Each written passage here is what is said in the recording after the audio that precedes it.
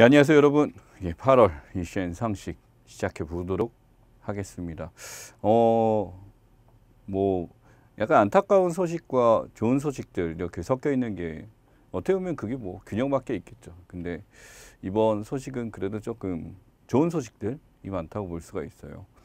음, 사실은 이게 외부의 평가다 이렇게 생각할 수 있겠지만은 우리 입장에서는 지금 뭐, 뭐 지금 보시는 분들 코로나 때문에 여러 가지 많이 겪고 있고 또 이것저것 뭐 뽑는 데도 많지 않구나 뭐 이런 것도 있겠고 그 다음에 또 어디까지 공부해야 될또 새로운 상식들은 계속 나와라고 하겠지만 어쨌든 우리나라라는 입장에서 삶 자체가 그렇다라기보다는 뭐 비교의적으로 이렇게 본다라고 한다면 다른 나라들에 비해서는 그래도 어느 정도 인정을 받고 잘 나가고 있는 중입니다. 물론 거기에 대해서 우리 국민들의 희생도 똑같이 수반되는 건 마찬가지예요. 국민들에게 바로 이게 이득이 온다라기보다는 외부에서 봤었을 때 타국의 국민들이 얻는 고통들보다도 우리나라는 좀 정한 편에 속합니다.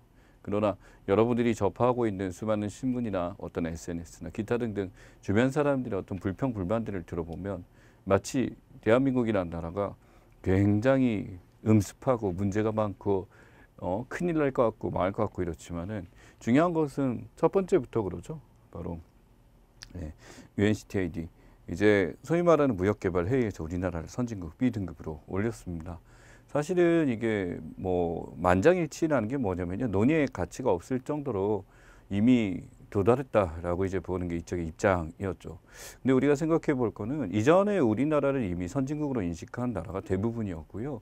이것 때문에 갑자기 선진국이 올라간 게 아니라 충분히 여기에서 그 위치를 차지하고 있다라고 보는 게 맞다라는 거죠. 여기서 이제 일반적으로 이제 B그룹이라는 게 뭐 미국이라든지 일본이라든지 우리가 위시하는 그런 나라들이 속해 있는데라고 보시면 될 것 같고요. 그 중에서 이 컨센서스에서 만장일치로 우리나라를 예, 선진국으로 격상했습니다. 어, 예, 뭐, 저 어렸을 때는 이제 중진국, 후진국이란 개념이 있었어요. 스님 얘기 참 좋아했죠.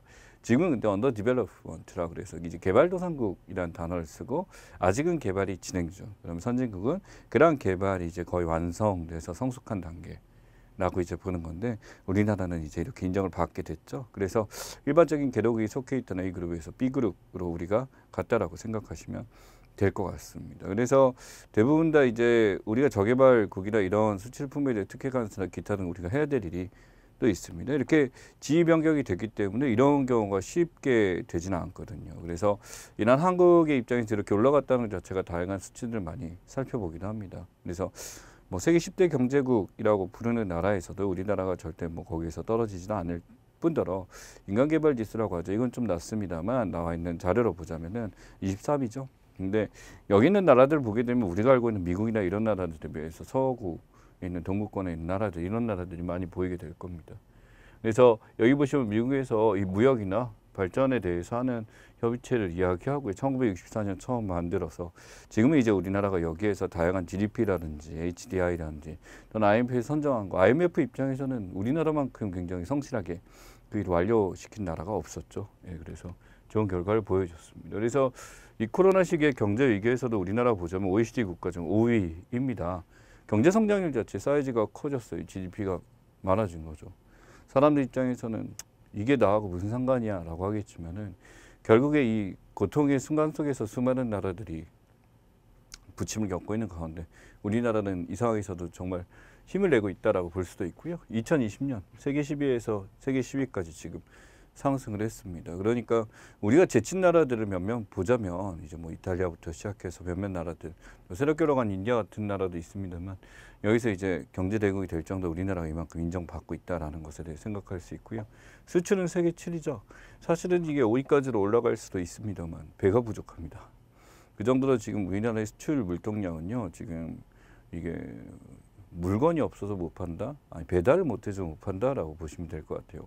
그만큼 지금 굉장히 많은 양이 우리나라의 물건들을 요구하고 있고 이제 그런 것들의 수출 규모 굉장히 커졌습니다. 수출 중심형 국가에서 이런 수출이 이 정도까지 보여준다라는 거는 우리나라의 사이즈에 비해서는 굉장히 효율적으로 잘 되고 있는 거고요.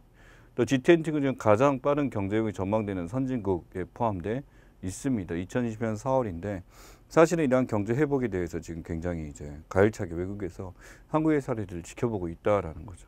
국가 입장에서 이렇게 꺼낸 것이 아니라 외국의 판단이 이렇다는 것은 우리가 주목할 만 합니다. 그래서 실제로 이제 우리나라의 경제 자체가 이제 다양하겠지만 뭐 여러분들의 입장에서 이럴 수도 있어요. 삶의 질 자체에 대한 논의도 필요하지 않을까? 복지적 측면이나 이런 것도 얘기할 수도 있고요. 무역 분야에서 이렇게 올라갔지만은 실제로 어떤 무형의 문제들 우리가 이제 가지고 있는 선진국에 위치했지만 대부분의 이제 주도하는 그런 대기업 위주의 거기 때문에 실제 이제 우리가 알고 있는 자영업이나 기타 등등의 팍팍팡 같은 것들은 여기에 반영되기가 쉽지는 않죠. 예, 그래서 사실상 이미 선진국의 선언을 내린 지가 오래됐어요. 외국에서는. 근데 이번에 확실하게 어, 약속받은 거다라고 이해를 하시면 될 것 같습니다. 자, 그래서 우리나라의 발전 한번 살펴봤고요. 자, 코로나 19 바이러스 여전히 이제 창궐하고 있습니다. 델타 변이 떴죠. 그래서 지금 이제 우리나라가 일반적인 알파니, 베타니, 감마니 해서 이제 델타까지 들어오게 되는데 그래도 델타가 다른 나라에 퍼지는 거에 비해서는 굉장히 잘 막았죠. 델타 변이의 특징은 이렇습니다. 전염력 자체는 1.9배에서 2.3배까지 보고 있는데 문제는 이제 델타 변이 자체가 이런 퍼지는 능력은 굉장히 강해요. 그러면은 두 가지를 물어봐야죠. 기존에는 백신으로 이걸 막을 수가 있느냐? 결론은 막을 수 있다입니다. 물론 예전의 백신만큼의 확률로 봤었을 때 뭐 화이자나 모더나나 결과는 굉장히 높았고요. 뭐 아스트로제네카는 67% 나왔기 때문에 3분의 2 정도니까 조금 이제 교차 접종을 이야기, 이야기하고 있죠. 근데 한 가지 고마울 만한 사실은 델타 변이가 사망률이 이전 코로나에 비해서 높지 않다는 거예요. 제 판단은 델타 변이 자체가 사망률이 낮다라기보다는 이제 사람들이 어느 정도 여기에 대한 저항력을 갖추고 있다가 아닐까라는 생각이 듭니다. 그래서 국내 검출 바이러스에서 이제 560인건 했었는데 수도권 지역 간에 기타 등 하는데 지금 뭐 매일매일 경신하고 있는 중이죠. 그래서 유형 분열에서 이렇게 나눈다 지금 이제 다양한 변이로서 이제 구분되고 있는 게 맞습니다. 그래서 우려 변이라는 게 뭐냐면 기존에 있는 전염성이 더 높거나 사망률이 증가하거나 해서 기존의 코로나 바이러스와 다른 형태를 보이는 것을 이야기하고요. 지금 알파벳이나 감마를 넘어서 뭐 람다까지 이제 나오고 입실론 이제 우리 라틴어에서 사용하는 그런 어휘잖아요. 이런 것들이 이제 계속 나오고 있습니다. 그래서 이전에 있었던 변이 바이러스는 남아공 변이랑 브라질 변이 있었죠. 인도 변이도 있었죠. 지금 이 델타가 이제 그쪽에서 오게 되는 건데 이런 것들이 이제 어떤 변화가 올지는 계속 지켜봐야 될 것 같습니다. 자, 그래서 세 거리두기 4단계입니다. 지금 수도권에서 됐었고 지방에도 전체적으로 3단계 그리고 지방자치적으로 4단계를 운영하는 곳들이 이제 관광지 양양이나 강릉 등이 그렇게 했었고 기타 여러 것들이 이제 4단계로 확산시킬 변, 변화를 보여주고 있습니다. 아시다시피 국민들 입장에서는 팍팍할 수 있지만 지금 이 코로나를 막기 위해서는 어쩔 수 없는 방책이다라고 하고 우선 얘기할 거는 국민들의 입과 그다음에 가장 전문가들이죠. 이런 바이러스 감염내과 그 교수님들은 대부분 다 강화시켜야 된다라고 보고 있습니다. 의사 말 들어야 됩니다. 자, 그래서 네명까지 사적 모임인데 여섯 시는 두명이고 행사 금지. 사실 이거는 만나면 안 된다라는 걸로 보고 있고요. 일인 시위는 금지 나와 있습니다. 그래서 집회 자체 거의 다 했는데 그래서 이제 민주노총 뭐 사례를 보자면은 이제 지방에 내려서 하겠다 이런 얘기 하고 있고요. 스포츠 관람 무관중 경기입니다. 그래서 관중 없이 진행돼야 되기 때문에 몇 개의 스포츠 야구 같은 경우는 지금 스톱 상태죠. 종교활동 비대면 종교활동 가능한데 몇 군데에서 강요해서 욕을 먹고 있습니다. 직장 근무 시차 출퇴근제나 기타 등 대면 근무를 이제 지양하고 있고요. 다중이용 시설 같은 거 제한될 다 있습니다만 뭐 이게 하나하나 출제되지는 않겠습니다만 적어도 이 4단계는 어떻게 보면 락다운 바로 이전 단계라고 보시면 됩니다. 어느 순간 이 4단계가 처음에 했었을 때는 겁이 났던 적이 있었어요 이전에는 근데 지금은 어느 순간 우리의 생활처럼 다가왔다는 게 굉장히 안타깝기도 합니다. 그래서 이 델타에서 델타 플러스까지 나온 상황에서 우리가 이것에 대해서 수용을 하는 것은 결국 우리가 이겨내야 될 내용이 아닐까라고 판단이 듭니다.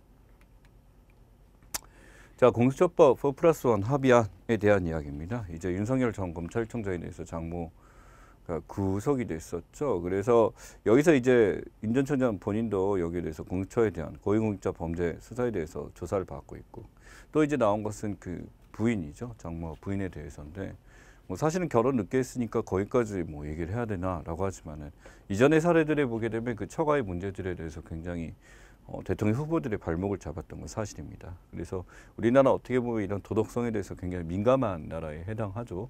그래서 공소처 수사 기소권 나와 있습니다. 고위공직자 범죄나 본인 또는 가족의 범죄 공소 기재에 대해서 이야기를 하고요. 공보 추천이 두 명 추천합니다. 그 중에 한명 지천해서 인사청문회 거쳐 임명을 하고요. 또한 이제 수사에 대해서 당연히 공수처의 모든 것을 통보를 해야 됩니다. 그래서 여기에 보호가 돼야지만 모든 것들이 이루어지게 되고 대통령 방무장차관 어느 한 직에서 퇴직하는 사람 모두 다 이런 수사 대상 범위에 해당하게 된다. 결국 우리가 알고 있는 고위 공직자라는 위치에 올라갔으면 전부 다 범위에 이루어진다라는 겁니다. 하지만 쟁점 보시면 기소권 남용에 대한 얘기도 하고요. 대통령이 뽑는다라는 게 문제예요. 그래서 대통령의 호위무사처럼 행동할 수도 있고 살아있는 권력에 대한 수사를 독점하기 때문에 공수처가 만약 이걸 은폐하면 어떡할 것인가라는 것도 있고요. 전직 대상 적폐청산 쉽게 얘기해서 정권이 바뀌게 되면 이제 거기에 대해서 상대편에 대한 정권 적폐청산이란 이유로 공격을 할 수도 있다라는 얘기까지 나오고 있습니다. 그래서 당연히 여권 입장에서는 윤천정 윤전 청장에 대한 비난을 하고 있고 야권 입장에서 애매한 행보였죠. 지금 이분이 확실하게 이제 야권에 들어가겠다. 물론 당연히 들어가는 건 기정사실이 언제 가느냐지만은 내놓고 이것을 보유하기가 좀 애매한 상황이죠. 그래서 지금 약간 이제 논란이 많이 되고 있습니다. 그래서 공처법 기억을 해주시고 예.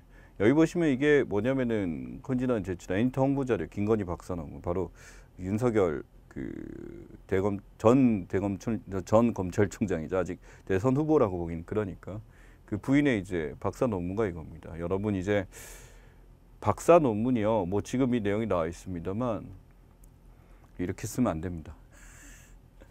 박사 논문은 다릅니다. 이 분야의 최고 전문가고요. 이렇게 홍보자를 그대로 옮겨가서 이렇게 뭐 거기서 이제 겹치는 문장이나 이제 표절에 대해서 몇 프로 이상일 때 없어야 된다고 보면 돼요. 어떤 그 분야의 가장 이런 건데 이게 학위 논문 인데 이게 이런 식으로 돼버리게 되면 거기다가 초반에 이제 뭐 유지라는 거 이제 한글로 썼다 이렇게 됐는데 그런 거는 뭐 실수라고 생각하기 쉽겠지만 실제로 논문을 준비해 보면은 진짜 그거 큰일 납니다. 박살 나요. 많이 많이 혼나요. 근데 저는요 이렇게 봅니다. 좀 관점이 다른데 음, 여기에 박사학위를 인정해 준 교수들을 비난하고 싶습니다. 그러니까 이분은 어떤 의도를 가지고 뭐 이렇게 박사를 따고 싶었겠지만 이런 논문을 박사라고 인정해 준 그 교수들 그러니까 거기 본인의 이제 어떤 학위나 자신의 어떤 학문적 역량에 대해서 의심을 해봐야 되지 않을까라는 생각이 들 정도로 저는 이게 굉장히 우스웠습니다. 제 입장에서는. 그러니까 이게 윤석열이라는 사람의 어떤 뭐 미래성이나 뭐 대통령 후보로서의 검증과는 달리 이거는 잘못됐어요. 그래서 어떤 결과를 알고 지켜봐야 될 것 같습니다. 자 상위별 법안 처리 현황입니다. 보다시피 상위별에서 하게 되고 처리를 보시면 쭉 나오죠. 산업통상자원인을 많이 통과했고요. 여기서 보시면 57.3인데 정보위원회가 가장 적지만은 실제 이제 여기서 제한된 내용 자체가 별로 높지 않으니까 이렇습니다.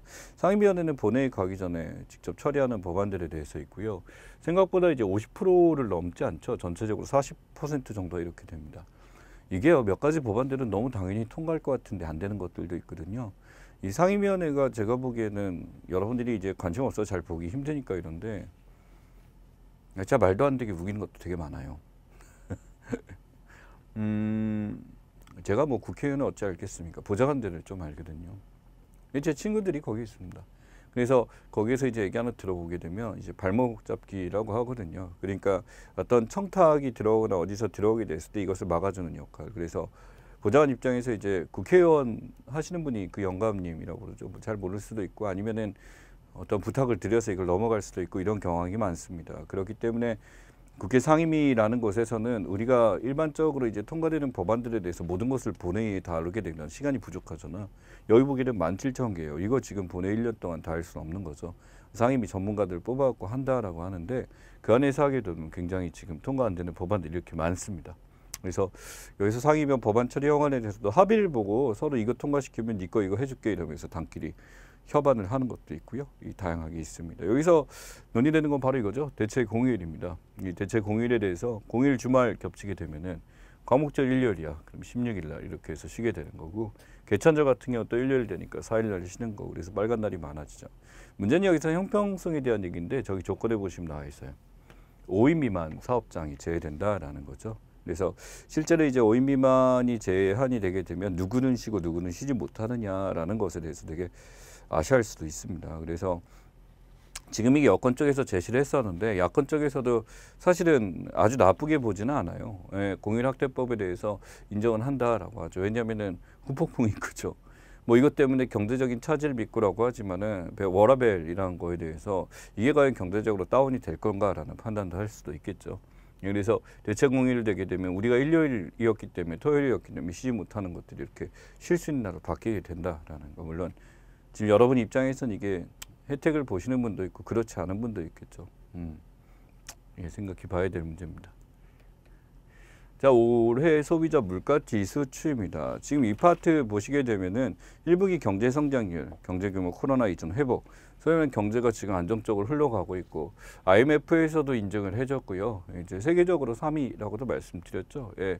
근데 소비자 물가 지수 엄청나게 커지고 있습니다. 여기 지금 뭐 1%, 0.3%뭐 이 정도야 하는데 여러 이게 굉장히 커요. 소비자 물가 지수, 장바구니 물가 지수라고 하죠. 여러분들이 실제로 무언가를 사고 구매하고 하는데 어 너무 비싸졌어라고 느끼는 것들이 바고 이렇게 해 이렇게 보입니다. 아, 전년 동기 대비 이렇게 커졌다라는 거죠. 지금 엄청나게 물가가 상승하고 있고 경제 성장률에 비해서 소비자 물가 지수 실제 국민들이 체감하고 있는 물가는 그거보다 훨씬 더 비싸다라고 보는 것 중에 하나입니다. 물론 코로나가 됐기 때문에 생산이 안 되는 나라들이 많으면서 이 원자재에 대한 비싸지는 것도 당연히 있을 거고요. 또 국내 총생산에 비해서 지출이 많은 거죠. 사람들이 이제 집안에만 있다 보니까 소비되는 것들이 좀 더 많아지기 때문에 이렇다라고 볼 수 있습니다. 그래서 최근 이제 상반기 FDI 실적 나와 있어요. 이 FDI라는 게 바로 뭐냐 외국인 직접 투자거든요. 이 외국인 직접 투자가 사실은 이제 계속 떨어지고 있다가 코로나가 되게 되면서 외국인들이 우리나라에 투자하는 게 무지하게 증가하고 있습니다. 130억 달러 넘겨갖고 역대 2위인데 이거 진짜 완전 거의 코리아거든요. 우리나라 경제가 안 좋은데 외국인 왜 투자할까요? 말이 안 되죠.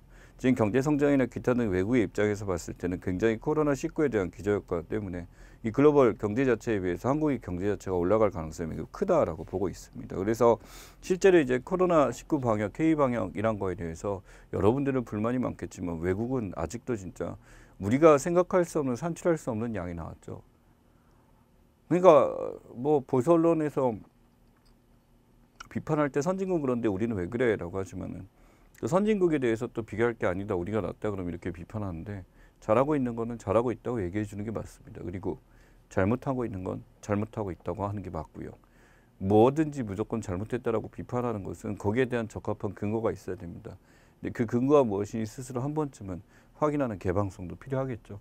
지금 보다시피 외국 사람들 돈 집어넣고 있습니다. 바보들 아니에요. 예, 근데 지금 이렇게 엄청나게 그 전에 92억 달러인가 그랬죠. 그러니까 지금 이게 40억 달러라고 한다는 게 증가했다라는 거는 지금 뭐 저번에 비해서 거의 30% 이상 동기 대비 굉장히 증가하게 된 거고요. 그래서 지금 이 상황으로 10년 평균에서 봤을 때 지금 58.6인데 지금 132라는 거는 거의 지금 두 배가 넘는 양을 여기에서 쏟아부고 있다라는 것을 생각하시면 됩니다. 그래서 국책 사업이라든지 기타 등 K 뉴딜이나 이런 것들이 지금 어느 정도 먹히고 있기 때문에 우리나라의 성장 이제 성장률이나 성장 전망 굉장히 좋다라고 말씀드리고 싶습니다. 사람 좀 많이 뽑았으면 좋겠어요. 그죠? 자, 컨텐츠 기업의 연관 망 이영녀입니다. 네이버 734, 카카오 300, 아프리카 TV 150인데 구글과 넷플릭스, 페이스북 무인승차 하고 있습니다. 참 저거 보면 싸늘하죠. 여러분들이 이제 많이 이용하고 있을 거고 전 넷플릭스 무료로 한번 써봤습니다. 근데 넷플릭스의 장점에 대해서 전요 사용을 했을 때 무료로 쓰고 그만둔다 했을 때 바로 그만둘 수 있었던 거. 우리나라 뭔가 하나 신청하게 되면 그만 못 뜨잖아. 갑자기 이제 유료로 바뀌고 이런 경우가 많았었는데 어, 넷플릭스는 그거 하나 장점이 있어. 하지만 이 구글과 넷플릭스, 페이스북 우리나라에 미치는 굉장한 트래픽을 주고 있지만 그 망상 요인은 절대 내고 있지 않다라는 게 특징입니다. 뭐 하는 걸까요? 당연히 이게 법을 이용해서 그들이 돈을 버는 방식 중에 하나입니다. 그래서 넷플릭스의 사용료를 받을 수 있는 것에 대해서 지금 우리가 여러 가지 강요를 하고 있고 강조를 하고 있고 아니 당연히 우리나라의 망을 쓰고 있다라고 한다면 우리나라 기업들은 내는데 왜 외국 기업은 내지 않는가? 왜 외국 기업한테 더 혜택을 주는가라는 그런 생각을 할 수도 있겠죠. 넷플릭스가 그냥 이런 거 삼아서 파는 거냐라고 하지만 넷플릭스는 나름대로 구글과 같이 기술 기업들입니다. 그러니까 굉장히 안정적으로 양질의 영상을 그렇게 압축을 잘해서 안정적으로 보여줄 수 있기 때문에 그런 기술을 가지고 있다라고 한다면 충분히 성장 가능성이 있고 이 정도 망사용료는 내는 게 맞다라고 생각을 합니다. 그래서 계속적으로 지금 넷플릭스 망사용 협상에 대해서 AK 브로이 브랜드나 LG U 플러스 입장에서 계속 논의를 하고 있는 실정입니다. 여기 보면 캐시 서버 운영 비용이라고 나오는데 캐시 서버는 이런 거예요.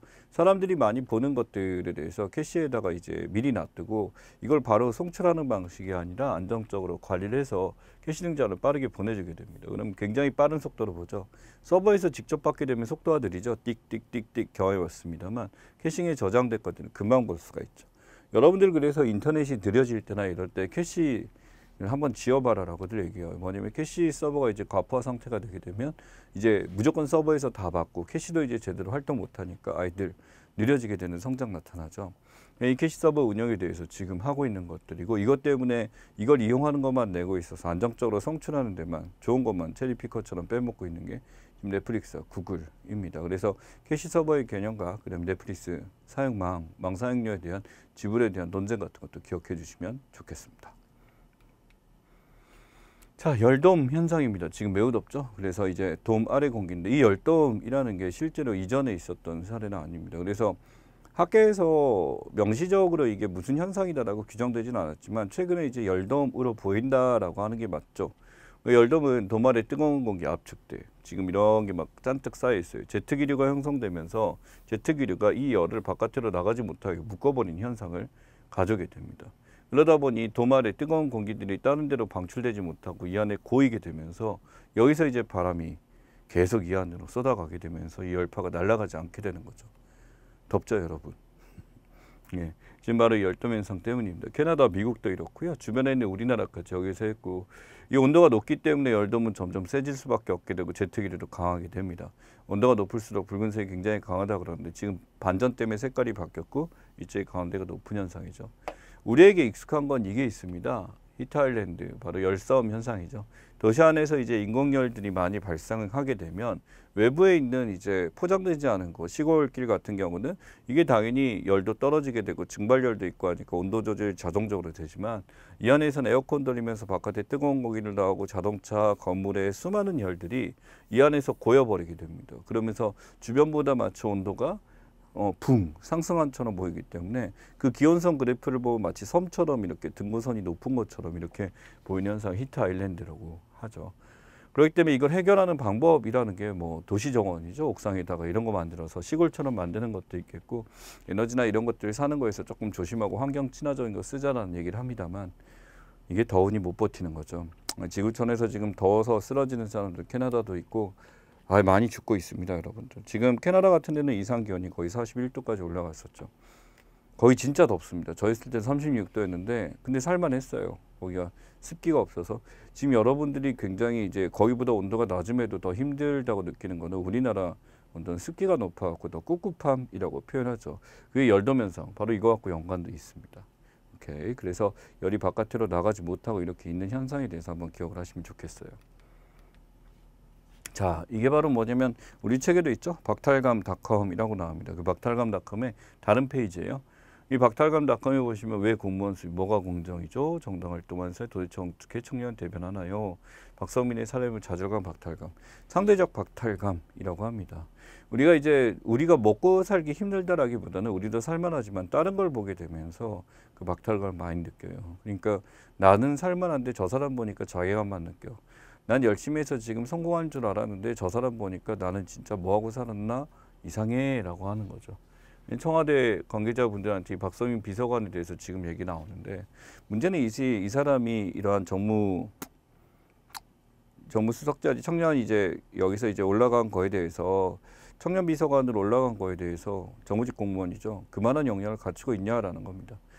물론 이 정무직 공무원은 청와대에서 알아서 뽑습니다. 그런데 이것이 이제 공정한 절차를 거쳐서 어떤 비리가 없이 깨끗하게 돼야 되는 건 맞죠. 근데 이 사람 깨끗합니다. 깨끗합니다.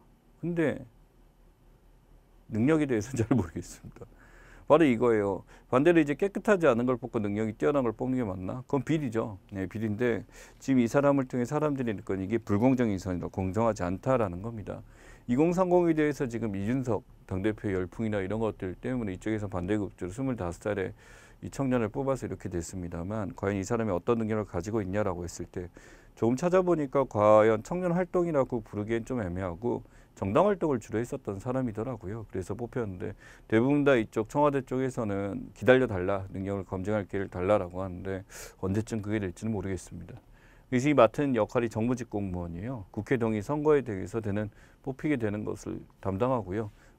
여기 보시면 고도의 정책 결정 업무를 담당합니다. 그래서 이 정책 결정이 굉장히 민감한 사안이고 이를 보좌하는 공무원들이라고 보시면 될 것 같아요. 그래서 감사원장, 감사원, 도서관장, 차장, 예산정책 차장 큼직한 일들을 맡고 있습니다. 그래서 지금 이제 국가에서 우리가 하는 것들 중에 국회 동의만 있게 되면 하는 것들로 생각하시면 될 것 같고요. 특수 경력직이라고 하죠. 그래서 이 사람이 갖고 있는 특수 경력이 뭔지는 모르겠습니다만 지금 이런 공무를 맡고 있습니다. 마치 이게 나이 어린 여성에 대한 비판이 절대 아니에요. 단순히 이 사람이 갖고 있는 것이 우리의 어떤 세금을 받고 일할 수 있는 쓸 만한 역량이 있는가에 대해서 다시 한번 고민해 봐야 될 문제가 아닌가 생각이 듭니다.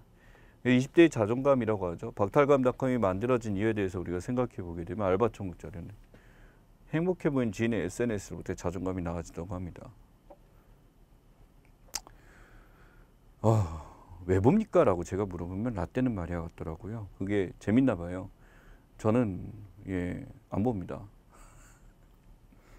재미가 없어서라기보다는 이게 사실일까라는 거죠. 그리고 막상 사실이 여러분을 행복하게 만드나요? 그렇진 않죠. 예, 그래서 행복해 보이는 지인의 에센스 대리만족 만약에 내 새끼가 이렇게 행복해. 그럼 괜찮을 것 같고 우리 엄마 아빠가 행복해. 아 그건 괜찮습니다. 내 가족이 그렇다면 모르겠는데 내가 알지도 못하는 사람들이 호텔에서 뭐 호캉스를 즐기고 막 명품 백 명품 자동차를 사고 막 이런 거에 대해서 와 좋다라고 할 수는 있는데 거기서 분리할 수 있느냐? 예, 저는 됩니다. 그래서 굳이 이거를 예, 취업이 안 될 때어 힘들죠. 예, 고민 많이 해야 되고 가족의 기대에 부응할 때는 가족들이 이런 압박감을 과거에는 많이 줬어요. 어깨를 짓는 적이 있습니다만 최근에는 그래도 기회를 주고 좀 기다리는 게 잘 돼 있는 것 같은데 아직도 좀 힘들죠. 친구 또는 상사의 갈등 이것도 힘듭니다. 근데 친구에 대한 고민할 정도면 아직 젊은 거고요. 상사의 갈등은 정말 힘든 것 중에 하나입니다. 외모에 대한 얘기예요. 그래서 외모에 불만족스러울 때가 정말 외모가 정말 문제 있는 사람들보다는 더 멋있고 예쁜 것을 요구할 때 보통 일어난다고 그래요. 그래서 이거 보면서 여러분들 지금 보시는 분들 20대 많을 텐데 스스로를 이제 억누르는 상대적 박탈감을 느끼게 하는 것은 무엇일까 생각해보고 이 상대적 박탈감은 상대가 문제가 아닙니다. 여러분의 생각이 문제입니다. 자, 세계 선박 수주량 현황이에요. 자, 압도적으로 한국이 잘 나가죠. 예, 35% 아니에요. 4% 35이고 한국 53인데 일본이 실력이 없다라기보다는요. 일본은 이제 선박 쪽보다는 다른 쪽을 많이 들어가서 그렇고 한때 일본 1위였습니다. 중국이 장국 기술 많이 가서 했지만은 문제가 중국을 우리가 다시 앞질렀어요. 예전에 한국이 우위였다가 중국이 다시 가져왔다 한국이 가져온 이유는 아주 단순합니다. 불량률이 높아서요. 그래서 한국은 불량률이 적습니다. 대신에 가격은 좀 더 비싸겠죠. 선박 수준은요, 우리 생각하고 좀 사고방식이 다릅니다. 한번 주문을 넣으면 거의 5년 있다가 만듭니다. 그렇기 때문에 이 5년에서 10년 가까이 걸리는 거기 때문에 쉽지가 않아요. 그 클락슨 리서치 배 많이 하는 쪽인데 조사 많이 하는데 2020년 1분기 누계고 우리 쪽 있는 그림이랑 같은 그림이라고 보시면 될 것 같습니다. 이제 클락슨에서 한 다른 사례 하나 볼게요. 지금 보시면 한국의 수주량에서 선박 수주가 제일 많아요. 그래서 계속 들어오고 예약이 꽉 차 있다라고 보시면 되고요. 수주 금액도 금액이 다릅니다. 실제 배의 개수에 비해서 수주 금액이 더 높죠. 이것만 봐도 우리나라가 이제 좀 더 이제 싸지 않아요, 절대로. 근데 그만큼 배라는 게 한번 무너지게 되면 엄청난 마이너스를 줄 수도 있기 때문에 그런 안전율이란 것 때문에 고민을 많이 하고 있습니다. 그래서 에카천연가스 LNG 운반선이죠. 이게 지금 중동이라든지 러시아라든지 북극권 이런 데서 이제 나름대로 이제 어떤 프로젝트를 많이 하고 있는 것 중에 하나고요. 지금 우리나라도 어떤 수출이라는 게 많이 되면서 배에 대한 선박에 대한 굉장한 많이 수요를 요구하고 있습니다. 그래서 지금 굉장히 우리나라 이제 중공업이 다운이 많이 됐었다가 다시 살아나는 추세고 이게 코로나가 또 다른 기회를 준 사례 중에 하나다라고 볼 수도 있습니다. 자, 그 다음에 대법 양형, 양형 기준 수정안 의결 내용 나와 있죠. 양형입니다. 이게 바로 뭐냐면 그 오거돈 부산시장에 대해서 양형 얼마나 형을 내려야 될 것인가라는데 양형 기준 한번 사례 한번 보십시오. 이 양형이라는 게 뭐냐면요. 실제로 유죄 판결 펌에 대해서 이 재반 사항 고려해서 최소 얼마, 최대 얼마 이렇게 주는 거거든요. 기존 형량은 6월에서 1년 6월 줬었는데 수정안은 이제 1년에서 2년 6월로 바뀌게 됐습니다. 그래서 최소 1년이고 특별가중 같은 경우는 10월에서 5년, 서물이 이제 2년이 7년 바뀌게 됐었고 이런 식으로 양형 기준이 이전에 비해서 좀 더 커졌죠. 예, 그래서 안전 보건 조치 의무에 대해서는 양형에 대해서 굉장히 엄격하게 가고 있다라는 거고 주거 침입 보시면요. 10월 이내에서 6월 1년, 8월에서 1년 전에 4월, 10월 퇴거 불응에 대해서 이거 뭐냐면 이 주거 침입이 퇴거 불응이나 이런 거는 전세나 이제 월세 살고 있는 분들이 비용 못 냈을 때 거기서 이제 바로 나가기 힘들잖아요. 퇴거 불응에 대해서 이렇게 되게 되면 이제 가중이 된 거예요. 8월에서 1년요. 이런 사례들이 많아지게 되니까 이렇게 된 사례 중에 하나입니다. 주거 신체 수액 같은 것도 8월에서 2년으로 두 배로 늘리게 됐었죠. 그래서 지금 이런 양형 기준에 대해서 오거돈 시장 같은 경우 좀 더 자격이 유리하게 내가 정말 못했다. 그리고 일회성이다. 그 다음에 음, 자기가 이때까지 했었던 업적을 생각해 달라 이런 건데 뭐 이거는 뭐 재밌는 얘기라 보다 이 사람 항상 얘기하는 중에 사직야구장 다시 지어주는데 제가 그쪽 팬입니다. 그쪽 팬인데 맨날 그거만 하고 안 하다가 결국 이런 추행이나 이런 일삼았다라는 것에 대해서 저는 뭐 어떻게 보면은 예, 정말 좋게 보고 싶지 않은 사람 중에 하나입니다. 그래서 이러한 이 오전 시장이 2018년 11월이죠. 그때 이제 뭐 인권위 계속 제조도 들어갔고 했습니다만 이때 해당 직원에게 외상 스트레스 장애까지 줄 정도로 성추행을 이제 다양하게 해왔었다라는 거고 사실 이 부산시장이 됐을 때 굉장히 스토리가 있었던 사람이었었는데 한 방에 이렇게 무너졌다라는 거 한번 생각해 보셔야죠. 안 됩니다 이런 거는 정말로. 그래서 오건돈 전 부산의 성추행 파문입니다. 성추행 사건 지금 피해자 A씨인데 이 전에 이제 11월 달에 있었던 거고요. 이제 알렸어요. 성폭행 상담 방문했어요. 사퇴 요까지 했어요. 근데 이렇게 됐는데 사퇴 기자회견 결국 하게 된 거죠. 왜냐하면 만약에 이 사람밖에 사건이 없었으면 몰랐을까 지금 전방위에서 빵빵빵 터졌었거든요. 자기도 이렇게 됐고 경찰청 내사 들어가고 지금 하게 되면서 지금 저 머리 다 하얗게 설고 살도 빠졌을 겁니다. 예. 그래서 1, 20평은 재, 제명하고 지금이 보궐선거에서 지게 만든 가장 큰 원인, 보궐선거가 있게 만든 원인이기도 합니다. 자, 여기까지 10위까지 가장 큰 것들 살펴봤고요. 뒷부분에 대해서 조금만 쉬었다가 이어서 가도록 하겠습니다.